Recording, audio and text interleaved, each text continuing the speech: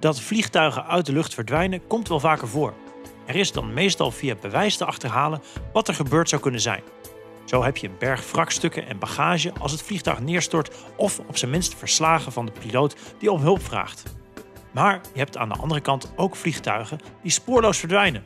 Ze vertrekken, maar komen nooit aan op de plaats van bestemming. En laten ook niks achter, zelfs geen meldingen van nood of slechte weersomstandigheden om de schuld op te leggen.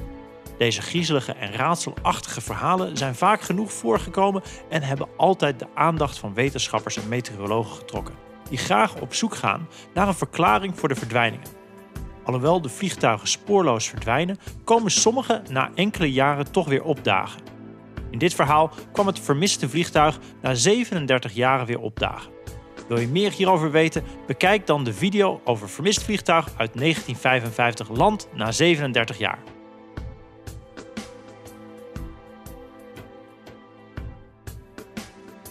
Landing na 37 jaar. Het begon allemaal op 2 juli 1955, toen een vliegtuig vanuit New York naar Florida vertrok, met 57 passagiers en 4 medewerkers aan boord. Alles ging volgens plan, totdat het vliegtuig zonder te melden van het radarscherm verdween. Niemand in de controletoren in New York kon contact opnemen met de piloot van het vliegtuig. Het vliegtuig was totaal verdwenen, alsof het nooit had bestaan. De autoriteiten waren ongerust. Ze dachten dat het vliegtuig was neergestort als gevolg van een storing en ze deden er alles aan om het vliegtuig te vinden. Maar tevergeefs. Ze konden geen wrakstukken van een neergestort vliegtuig vinden. Na maanden zoeken legden de autoriteiten zich erbij neer dat het vliegtuig waarschijnlijk in zee was gestort en zodoende geen sporen had achtergelaten. De vliegmaatschappij op zijn beurt gaf de nabestaanden een geldbedrag als compensatie voor het verlies van hun geliefde. Alles werd afgewerkt en de zaak kwam ergens in een la terecht. Maar 37 jaar later werd deze zaak opeens weer heropend. Op 22 mei 1992 zagen de luchtverkeersleiders van Caracas in Venezuela een luchtvaartuig in de lucht vliegen. Het was een onbekend voertuig, want hij kwam niet voor in het radarsysteem. Ze konden het vliegtuig dus alleen zien met het blote oog. Ze ontvingen een oproepsignaal van de piloot, die paniekerig vroeg wat er gaande was en waar het vliegtuig zich bevond piloot gaf aan dat hij van de Pan Am-vlucht naar New York was en hoeveel mensen hij aan boord had. De La Corte, degene die het oproepsignaal opving, was ontzettend verbaasd. Hij probeerde meer details te achterhalen door de piloot vragen te stellen. Hij vroeg hem of hij problemen had ondervonden tijdens zijn vlucht. Maar de piloot gaf niet meteen antwoord. Toen hij uiteindelijk reageerde, zei hij dat hij op 2 juli 1955 omstreeks 9 uur 55 moest landen in Miami. Volgens de piloot was er iets niet in orde met het landschap dat hij voor zich had. De La Corte had geen keus en deelde de piloot voorzichtig mee dat hij zich op het internationale vliegveld van Caracas bevond in het jaar 1992. De piloot schrok hevig en de La Corte kon hem luid horen ademen. De La Corte had intussen al alles gereed voor de landing en probeerde de piloot te kalmeren. Toen het vliegtuig zich klaarmaakte voor de landing, schrokken de luchtverkeersleiders van wat ze zagen. Ze stonden versteld. Het vliegtuig zag er namelijk erg ouderwets uit. Het was een vliegtuig dat niet meer gebruikt werd in hun tijd. Ze hielden nog steeds contact met de piloot en konden op de achtergrond het geroezemoes van de ongeruste passagiers horen.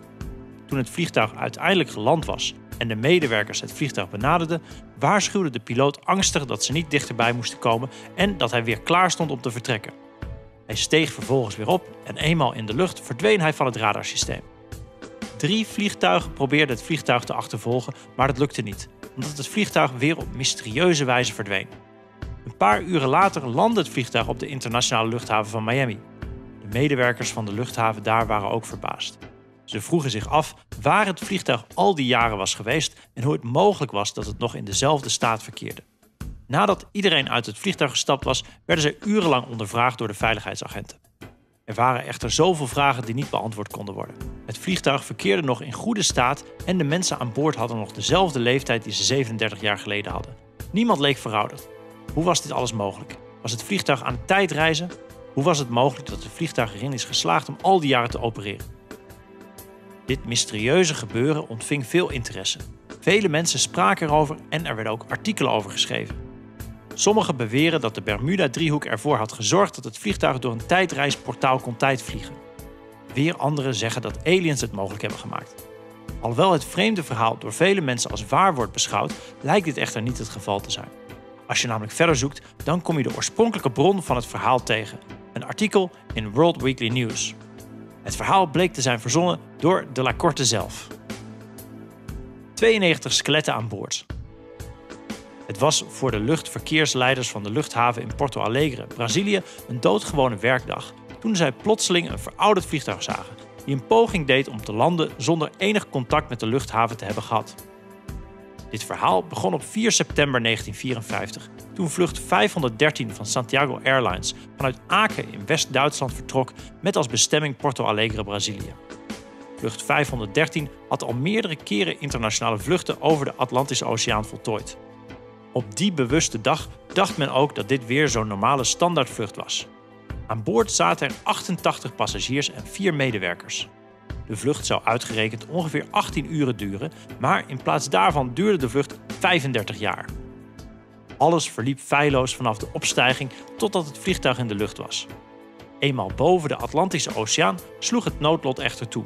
Het vliegtuig verdween van het radarsysteem. Toen het vliegtuig vermist raakte boven de Atlantische Oceaan, werd het gebied afgespeurd door de noodhulp-reddingsteams. Maar zij vonden na heel lang zoeken toch niks. Niemand kon achterhalen wat er precies gebeurd was met het vliegtuig en de autoriteiten gaven uiteindelijk het vliegtuig en iedereen aan boord als vermist op. Familieleden waren zeer bedroefd en gingen in de rouw om hun dierbaren. Maar 35 jaar later, op 12 oktober 1989, komt het vliegtuig opeens al onaangekondigd aanvliegen in de luchthaven van Porto Alegre. De luchtverkeersleiders waren verbaasd en wilden weten waarom de piloot van het vliegtuig zonder waarschuwing was ingevlogen. Ze zagen het vliegtuig in het radarsysteem en dachten in eerste instantie dat het systeem een storing had, maar dat was niet het geval. Ze namen hun dagschema door om te kunnen achterhalen om welke vlucht het precies ging en ook daar vonden ze niks. Toen probeerden ze contact te maken met het vliegtuig, maar ook dat lukte hen niet. Het vliegtuig vloog ongehinderd door en naderde het vliegveld. Het personeel kon het vliegtuig nu zien aankomen en merkte dat het vliegtuig verouderd was en niet afkomstig was uit de huidige tijd. Alhoewel ze het gewend waren verouderde vliegtuigen te zien, was dit vliegtuig vele malen ouder dan hetgeen ze gewend waren te zien. Toen het vliegtuig dichterbij kwam, kon het personeel ook de naam lezen op de zijkant. Ze zagen daar ook het logo en dit verbaasde hen nog meer. De vliegmaatschappij waarvan het vliegtuig afkomstig was, bestond namelijk al jaren niet meer. De maatschappij had haar deuren in 1956 gesloten. Het personeel raakte nu echt in paniek. Ze hadden te maken met een vliegtuig van een vliegmaatschappij die niet meer bestond en ze konden ook geen contact maken met de piloot. Het vliegtuig deed nu een poging om te landen op een luchthaven. Dit leek een regelrechte ramp te worden. Desondanks maakten ze de landingsbaan gereed. Dankzij de snelle inspanningen van het personeel kon het vliegtuig veilig landen. Nadat het vliegtuig helemaal tot stilstand kwam, ging de deur van het vliegtuig niet gelijk open. Dit was verdacht en het personeel probeerde de deur ook niet open te maken. Ze haalden de beveiliging erbij en benaderden voorzichtig het vliegtuig. Toen ze eindelijk in het vliegtuig kwamen, kregen ze de schrik van hun leven. De passagiers zaten allemaal keurig op hun plek met hun veiligheidsgordel om. Je zult je nu wel afvragen wat hier zo schokkend aan is. Wel, hetgeen dat nog te zien was van de passagiers en de medewerkers van het vliegtuig was enkel hun skelet. Het skelet van de piloot, Miguel Victor Curie, zat in de cockpit op zijn stoel met de handen aan de knoppen terwijl de motor nog nazong. De Braziliaanse regering werd gelijk op de hoogte gesteld over dit vreemde voorval. De zaak werd onderzocht, maar de regering hield het onderzoek geheim.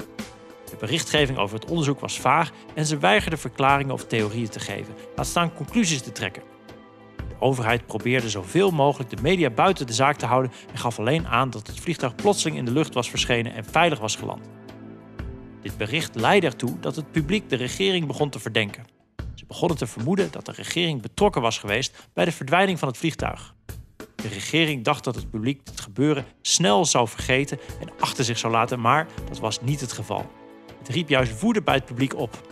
Een voormalige hoogleraar natuurkunde in Porto Alegre, Rodrigo de Manja, kwam uiteindelijk met de zaak naar buiten en zei tegen de regering dat het publiek er recht op had alles over het vliegtuig en wat ermee was gebeurd te weten en dat het de plicht van de regering was om de informatie vrij te geven. Manja stond niet alleen. Hij werd vergezeld door dokter Celso Atelio, een paranormale onderzoeker. Atelio speculeerde dat de regering daadwerkelijk concreet bewijs verborg over het bestaan van wormgaten in het universum. Atelio vertelde dat het vliegtuig bestuurd werd door het skelet van de piloot. De bemanning en de passagiers waren allemaal dood. De ambtenaren willen hierover geen uitleg geven, maar ze konden niet ontkennen dat het vliegtuig de wetten van ruimte en tijd had getrotseerd. Maar niemand weet precies hoe het skelet van de piloot het vliegtuig in godsnaam veilig aan de grond heeft weten te zetten.